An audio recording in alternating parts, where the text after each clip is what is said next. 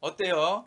유익하셨다면 구독과 좋아요 그리고 알림 설정은 사랑입니다.